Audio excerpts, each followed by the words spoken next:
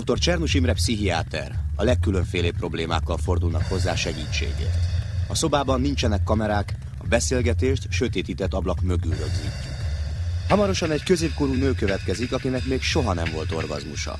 A szexnek az a formája nem megy, hogy élvezem. Nem tudok eljutni a csúcsig. Én, mint férfit, először az unokámmal néztem meg, hogy hogy néz ki egy férfi alulnézetben, vagy egy fiú alulnézetben.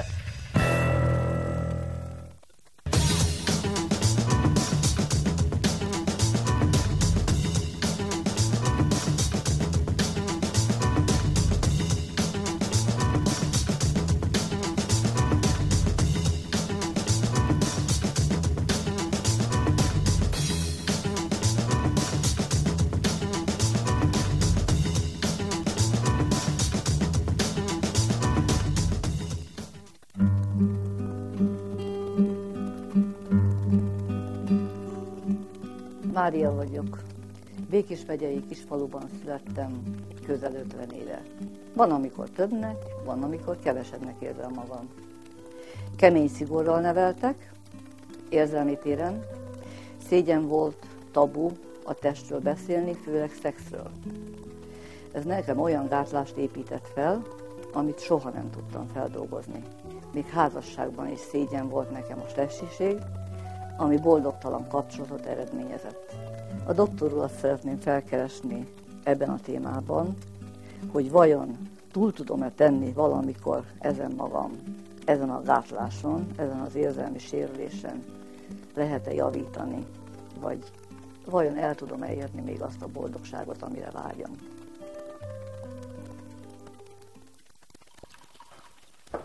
Tessék, Jó napot kívánok! ez egy csokol. Mária vagyok. üdvözlöm. Csernus Imre vagyok. Köszönöm szépen. Vízzel megkínálhatom? Esetleg egy kis vizet, hogyha, vagy kristályvizet, hogyha későbbiekben kell. De Persze, szíves.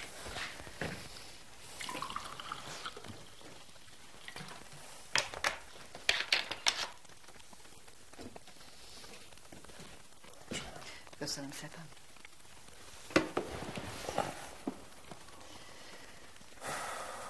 Hát kérem szépen, eljöttem egy olyan problémával, ami régen foglalkoztat. És most már egyre inkább úgy érzem, szükségem lenne ezt megoldani, bár voltam már orvosomnál, és azt mondta, hogy ő ebben nem tud segíteni. Nem tudok partnert szerezni, vagy ha partnert tudok találni, nem tudom megtartani, mert azt mondja, hogy nem tudok vele együtt élvezni szálltál. Tehát a szexnek az a formája nem megy, hogy élvezem. Nem tudok eljutni a csúcsig. Vagy ő nem tud eljuttatni, vagy én valamilyen gátlás miatt nem tudok odáig eljutni. Úgyhogy Ez hány éves probléma? egész életemben ez volt. egész életemben ez volt, mert én nem hibáztatom anyámat, mert féltett, rettentesen féltett. És én úgy éreztem, hogy egyetlen megoldás van, hogy ha férhet megyek, akkor hát ha. Ő mondott valamit a férfiakkal való viszonyról? Nem, csak rettenetesen féltett. Soha nem voltam felvilágosítva, de nagyon féltett a férfiaktól, hogy esetleg én férfivel találkozom addig, amíg férhez nem megyek. És félt a következményektől, félt esetleg attól a szégyentől, ami esetleg, hogy mit tudom én, teherbe esik a lánya, úgyhogy, de nem, nem világosított fel sem, úgyhogy Tehát eleve volt egy olyan beállítódás, hogy félj a férfiaktól. igen, igen. Belemenekültem. Én most már tudom, hogy belemenekültem a házasságba. Az, hogy akartam valakit, én úgy indítottam be a házasságba, hogy szerettem volna élvezni azt, amit mindenki azt mondja, hogy az olyan nagyon jó. És szerettem volna elérni. Sajnos a legelső találkozás fájdalommal járt, és utána ez már olyan gátlást adott nekem, hogy sose tudtam feloldódni benne. Az akkori férje akkor ezek szerint ez egy akkori férj, hogyha most nem tud párkapcsolatot kialakítani, megtartani, tehát elváltok? Nem, meghalt a férjem öt éve.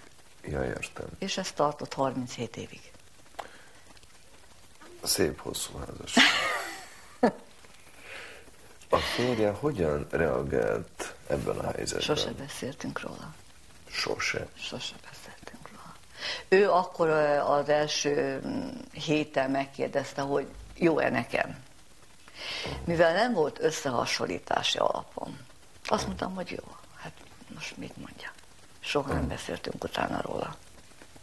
De én szóval sokszor imitáltam azt, hogy már alszom, mert, mert nem nagyon akartam, de aztán egy olyan 20 év után meg is szűnt ez a szex, kapcsolat közöttünk, de nem beszéltünk továbbra se róla, ő aztán már nem kereste az alkalmat, én se kerestem, én soha nem kerestem az alkalmat, de rendelkezésre álltam nagyon sokáig, úgyhogy ez szépen úgy elmúlt a 37 év. Az özvegyasszony a férje halála óta eltelt öt évben megpróbálta újraépíteni az életét. Nyugdíját takarítással egészíti ki, mint mondja, számára ez nagyon fontos, mert így legalább azt érzi, hogy valakinek szüksége van rá. Megszállott táncos, minden csütörtökön barátnőivel válik a parkett ördögévé, legnagyobb bánatára azonban itt is a hölgyek képviseltetik magukat többségben. Elvégzett egy agykontroll tanfolyamot is, de a tökéletes férfit az állandó kutatás ellenére sem sikerül megtalálnia. Gondolta arra, amikor így mondjuk a férjével a testi kapcsolat nem működött, mondjuk ennek bizonyos körökben erkölcsi gátak vannak, hogy saját maga keresse meg ezt az élményt, ha finoman fogalmazok. Nem. Nem volt, hogy mondjam, tudomásom róla, hogy ilyen van. Rettenetesen tájékozatlan voltam minden téren, mert én vidéken születtem, és hát ott volt baráti kör. A baráti kör megszakadt, mert én nagyon messzire elköltöztem, és itt Pesten már baráti kört nem tudtam találni. Mikor fordult ezzel a problémával először akár orvoshoz, vagy más segítőhöz? Akkor, amikor férhez mentem, és az első héten, hát nekem rettentesen fájdalmas volt az egész, elmentem a nőgyógyászhoz, uh-huh. és ó, hát az majd meg fog, rendbe fog jönni, és láttam, hogy az orvos és az asszisztensnő úgy jön, összenéznek és mosolyognak, és ez rárakott tovább arra, hogy még nagyobb gátlással rendelkezzem. Úgyhogy többet nem mertem ezzel a dologgal elmenni orvoshoz. Visszatérve a serdülő korára, amikor édesanyja azt mondta, hogy tartsál a férfiaktól. Nem mondta, hogy tartsa a férfiaktól, nem volt szabad. Szóval azt, hogy én este sötétedés után már nem lehettem az utcán. Azt, hogy ha elmentünk bálba, akkor a, jöttek a szülők, úgyhogy ö, olyan szituáció... Volt-e a férfiaktól való félelem egyáltalán? annyira nem ismertem a férfiakat, és annyira belém ivódott ez, hogy tartani kell a férfiaktól, mert, mert, hogy Mert?